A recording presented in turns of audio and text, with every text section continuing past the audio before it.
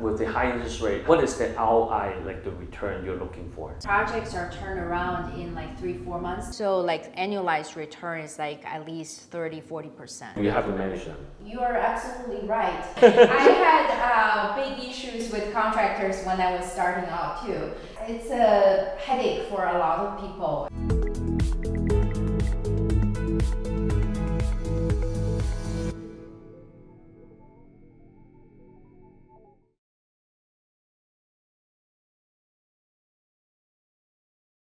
歡迎大家嚟到我要做訪問啦，咁我嚟到三藩市咧就見一位我自己想見好耐嘅人啦，就係 Elisa 啦。Elisa 咧幾年前去試下 flip house 啦，結果咧就全職 flip house 做到財務自由添。佢而家就一個星期咧用十個鐘時間去喺 flip house 呢個 project，可以話咧做埋財務自由噶啦。喺我回流翻加拿大之前咧，其實咧就睇佢嘅頻道噶啦，開頭嗰幾條睇睇到而家噶啦。今日終於有幸見到佢啦。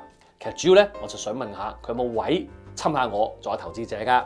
咁俾啲時間我問下佢啦。就算做唔到投資者，希望透過呢次訪問咧，可以問到一啲 house flipping 嘅心得。而家成日主要 house flip 咧都喺三藩市㗎，好多嘅策略包括點樣揀啲舊屋啊，點樣做裝修啊，個 design 係點樣啊，點樣借錢，點解借錢，點計數，點買樓咧？其實唔止喺加拿大、美國適用，其實全球朋友都會適用㗎。 唔好話 house flip 啦，你本身裝修啊，去租出去都需要用到啲學問㗎。如果大家未 join 我要做富翁頻道咧，更多關於股票、房地產投資同理財嘅片段咧，會喺呢個頻道不斷推送㗎。有興趣嘅記住撳訂閱同埋撳埋鐘仔搶先睇啊！關於房地產嘅，大家可以訂閱埋我要做屋主嘅頻道，全球睇樓啦、房地產策略，加埋移居咗人嘅分享心得㗎。Thank you, Elisa, for coming to my show and letting us to your new house. Thank you for joining us. Sure, thank you for having me on the show. Right, a little bit of the background. I'm a big subscriber of Elisa's channel uh, for three years. So I've been watching your videos for a long time. It's really excited to finally see one of your houses that uh, you have sold this house a long time ago, right? Or just now? Just sold. Yeah, it's actually just sold like a week ago. Right, okay. So I'm really thrilled uh, coming to the house. Since last time we've talked, because we've contacted you last year, how many projects are completed and if you see any new trends coming up past year? So um, last year I completed about nine projects and um, the projects like you know like last year the market was pretty hot yeah. and since like around um, the summertime of last year the market went down because of the interest rate really went up a lot Right, right. so um, since then, the market has been um, slower and more kind of uh, like a plateaued instead of like going up like crazy like the previous couple of years. Yeah. So that's the biggest trend. But in the Bay Area, since the beginning of this year, the market actually um, went up again.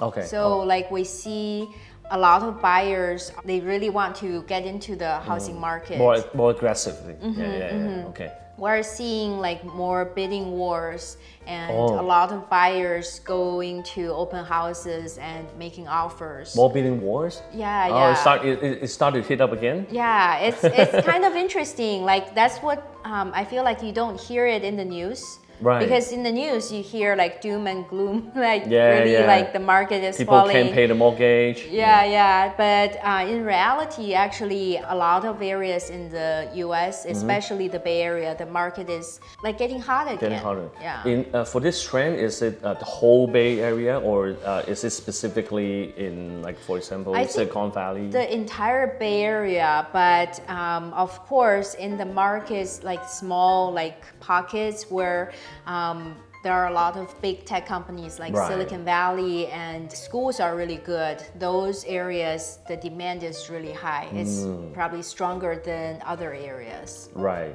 So, um, you know, after this year, the interest rate, especially for the US, is been really high. Uh, it's like um, the base point is like 5%. It's like the highest since 2008. Does that affect your strategy and your, uh, your, your- your turnovers of the projects? Does it that have any impact on your business? Sure, yeah. The interest rate is higher, meaning like the borrowing cost is higher. So when I borrow money to purchase and to remodel the homes, the cost is higher. Yeah. Also, like to buyers, like it's harder for them to afford houses because of the um, of higher borrowing cost. So when I flip houses, it's important to really be conservative with the numbers, to uh, really budget the like a worst case scenario, like if the market declines and if um, there's some shifts in the market, I want to make sure that my margin is high enough so that with any shifts in the market, I can still at least break even. Right, right. So that's the calculation that you suggest anyone that want to come into this market, Mm-hmm. they should do the calculation right, right? Yeah, the numbers are the most important thing in the flipping business. Mm-hmm. Yeah. Yeah, it's the foundation of your flips. Right. If the numbers are not done correctly, then it doesn't matter what kind of renovation you do, it doesn't matter of how you execute anything else, you're not going to make a profit. Right. In your videos, um, you talk about that it's a hard money, right? Hard money cost or Mm-hmm. how much interest you're paying. Are you getting a good deal, Mm-hmm. like for the uh, hard money? Uh, right now, my um, the hard money interest I pay is a lot higher than what I used to pay before the interest rate started going up last year. Um, but still, I'm getting a, a pretty good deal because of my experience Right. and my track record. Right. So for like new investors in the Bay Area, I think um, most of them are paying around 10% or even more than 10% Wow. plus points. Right. So with that, with the high interest rate, what is the ROI, like the return you're looking for?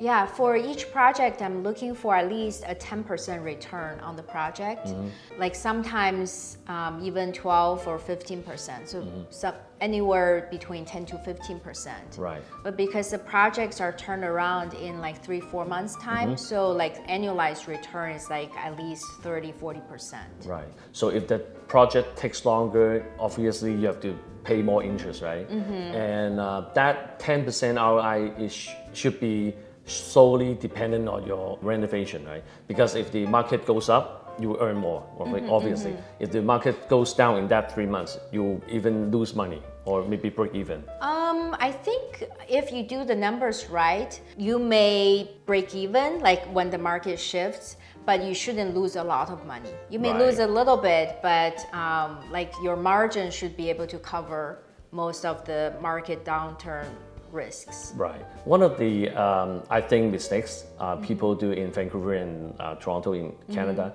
is that they flip the house and they see the downtrend in the market. They just keep holding the houses for two, three years.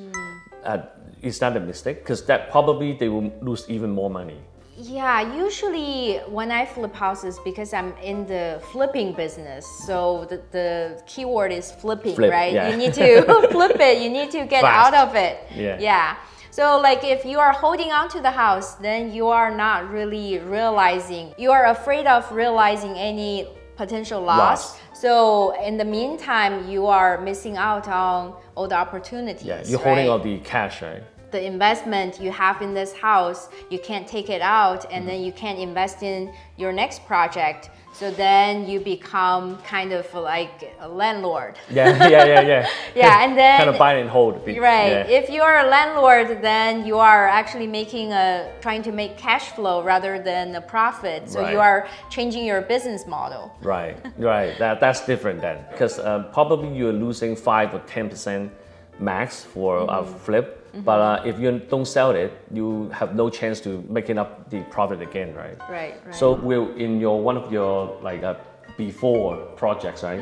So I'm really always wondering how do you see uh, the potentials in old houses like this to make a profit? Is that a standard procedures or is it by experience? What you're looking for uh, to decide if you're going to buy the old house to flip? less about the features of a house, but mm. more about the numbers. How I calculate the numbers is actually backwards mm-hmm. from the after repair value. So, like after I do the renovation, how much the house will be worth. Right. You deduct the all the renovation costs, financing costs, etc., and then you mm. deduct your desired profit, and then you get to the purchase price. The maximum purchase price. Right. Right. From the maximum purchase price, whether um, you can make a deal with the seller to get to this maximum purchase price. Right. If they agree to your maximum purchase price, then it's a good It's deal. a, it's a Then- green light.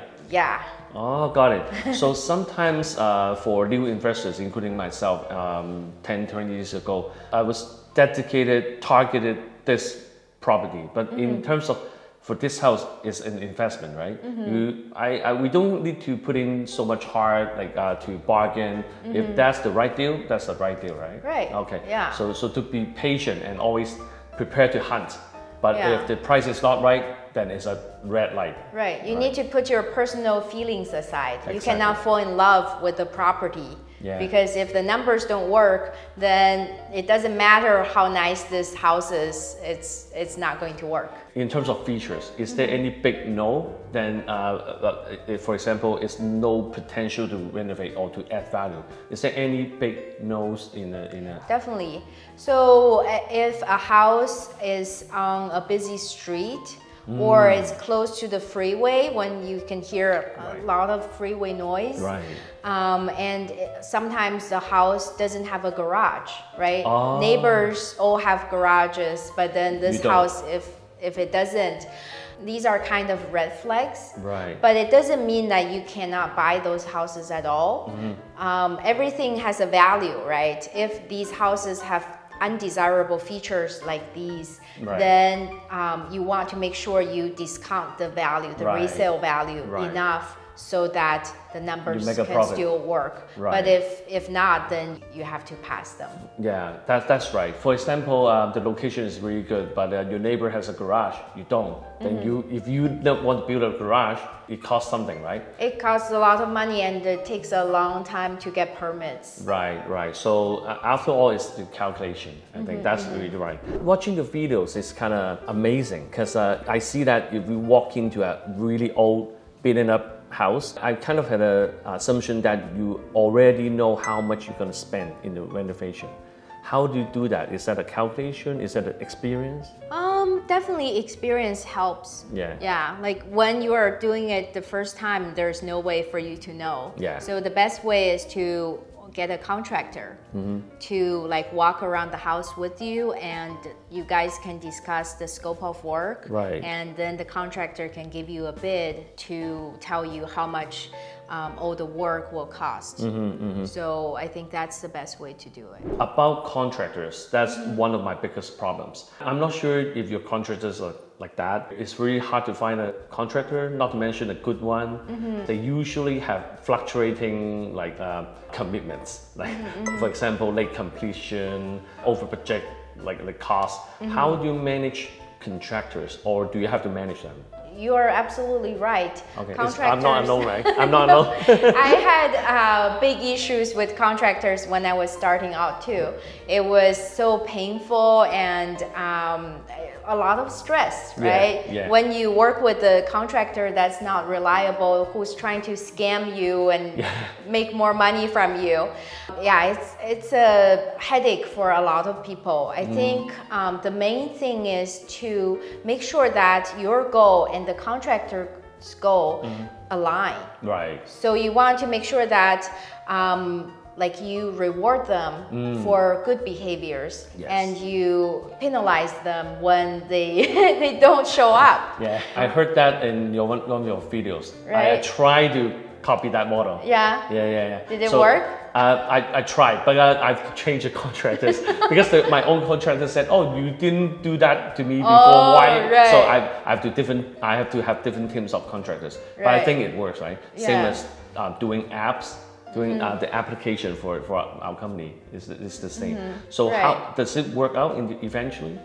Yeah, so if you reward them when they um, do good work, when they complete the project quicker, Um, and when you make a good profit, you can give them some bonus too. Right, right. Just take 聽到呢度咧，相信大家咧想知多啲關於 Elisa 點樣做啲 house flipping 嘅，咁大家咧可以咧 subscribe 佢嘅 YouTube channel 啦，叫做咧 Transform Real Estate 嘅，有好多片咧解釋得好詳盡嘅，唔單止我最中意佢啲 before and after 嘅片啦，好似魔術咁啊，仲要係講咗佢犯啲咩錯，點樣改良，同埋有晒實質數字教埋大家點樣計數㗎。所以今次成條片連埋啲推介咧都係開 心 share 嘅啫。如果大家真係想學啲投資策略咧，可以咧考慮買佢本書㗎。交俾 Elisa 講呢本書咧講咩先，又或者真係想有個 mentor 嘅話咧，仲可以上去堂添。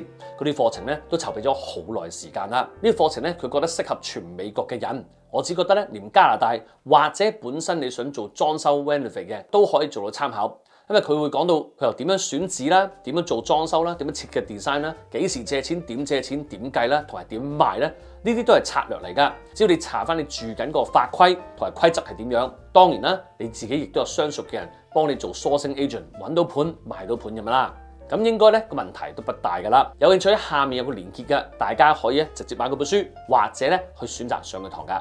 如果大家對於今日嘅節目有咩更多嘅問題咧，記住下面 comment section 咧去問。如果大家中意呢片，記住撳 like 同埋 share 同埋留言啦。記住咧訂閱我要做富翁 channel，關於房地產、股票、理財、投資咧，都會喺呢個頻道同大家繼續分享㗎。專攻房地產同埋宜居故事嘅，記住訂閱埋我要做屋主呢頻道啦。兩個頻道記住撳埋鐘仔搶先睇啊！投資唔係大專利，下次見大家，拜拜。